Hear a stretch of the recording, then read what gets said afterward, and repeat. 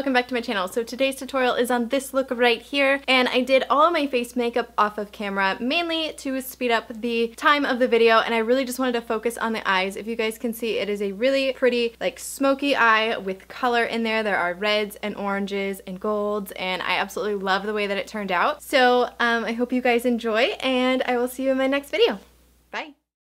Bye! Alright you guys, let's go ahead and get you zoomed in here. This entire tutorial is using the Kat Von D Monarch palette. Using the lightest matte shade in the palette and the M505 brush, I am going to start to highlight my brow bone and this is just a matte shade which I really like for highlighting. I usually don't do this first but I decided to give it a go this time.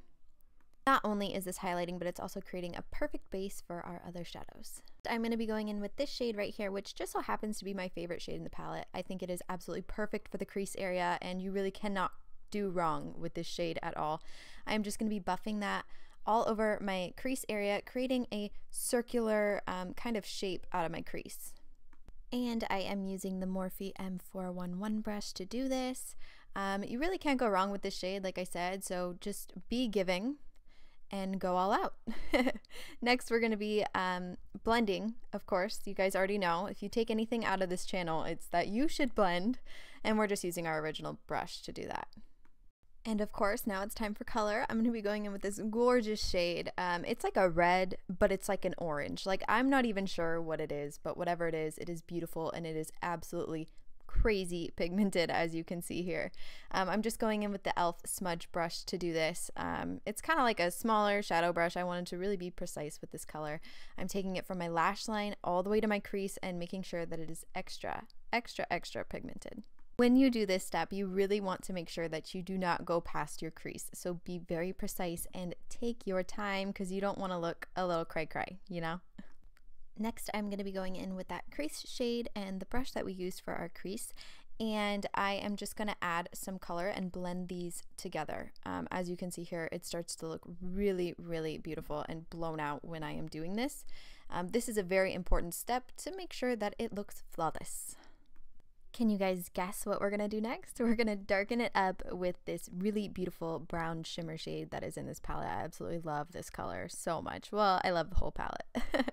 I am using the E17 brush from Morphe to do this, and I'm just focusing on the very outer corner of my eye, and I'm bringing it into the crease.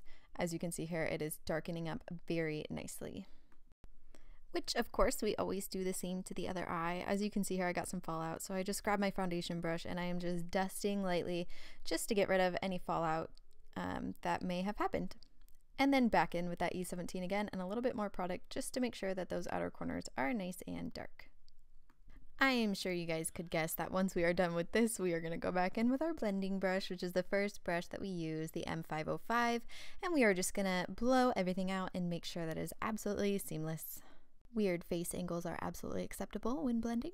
I'm going to go in with this gold from the palette. And this gold is very beautiful because it's almost like a sheer, like it's pigmented, but it's like a sheer gold. So I just decided to put it all over the shadows that I had just put on my lids just to soften it up and make it almost look, um, I don't even know what word I'm using. But anyways, I'm using the same brush that I used for the red shadow, just the smudge brush by e.l.f. And then of course we're going to go back in and blend again. I could totally skip over all of this blending, but I just want you guys to understand how important it is to blend after every single shadow. Now I'm going to be going in with the darkest shade of the palette. It is a matte black, and let me tell you, it is really black. I am going to be using this Morphe M508 brush. Um, it's basically like a small smudge brush, and I am going to create the effect of eyeliner, except for with an eyeshadow. This is going to create a very soft look while still darkening up that lash line and making it a little bit more dramatic.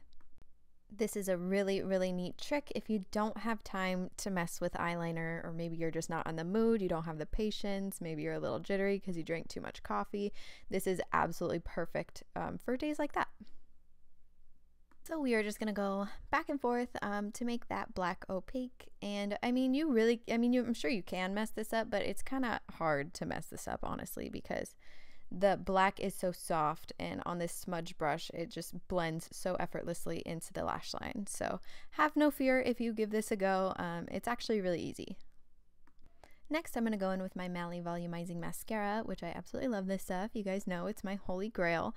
And I'm just going to be applying um, a coat or two on both of my eyes. Um, you guys know how this goes. Now, if you guys don't like false lashes, you certainly don't have to apply them. This is what the look looks like without false lashes. Beautiful, but you know me, I like my lashes. Next up, I'm just going back into the gold and I'm using the M431 brush and I'm just going to dust this really close to my lower lash line. Um, I really am trying to be precise with this and, um, you know, make sure it's opaque, but I also want it to be really close to my lash line. And of course, we are doing the same with that orangey red color, whatever you want to call it.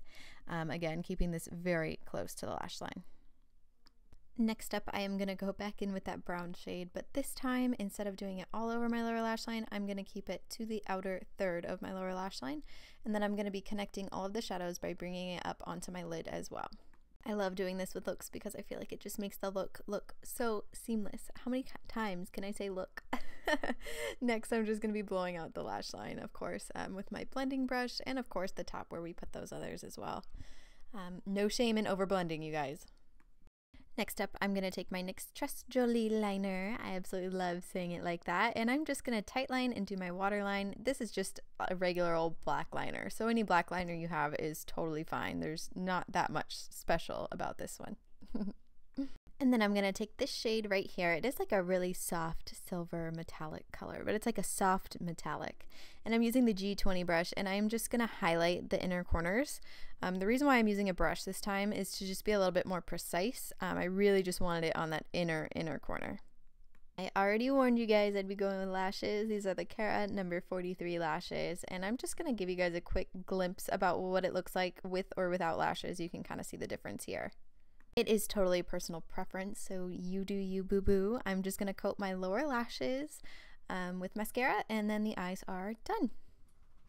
Moving on to the lips, those smoochers. I'm to go in with this L, Ellie, I don't know how to pronounce it, uh, lip liner. It's in the shade 02 and I'm just to coat my very cracked, terrible lips um, with some liner.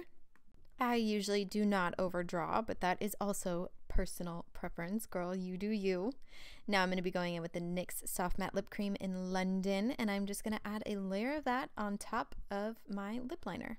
You can do any color you want, but what I love about London is that whatever lip liner you use underneath it will completely change the color, and I love it. And once you finish the lips, this look is done.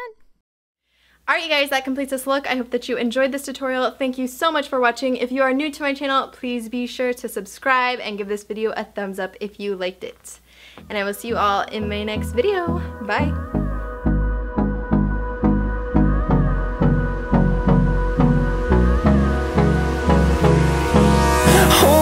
Close till I get up Time is barely on our side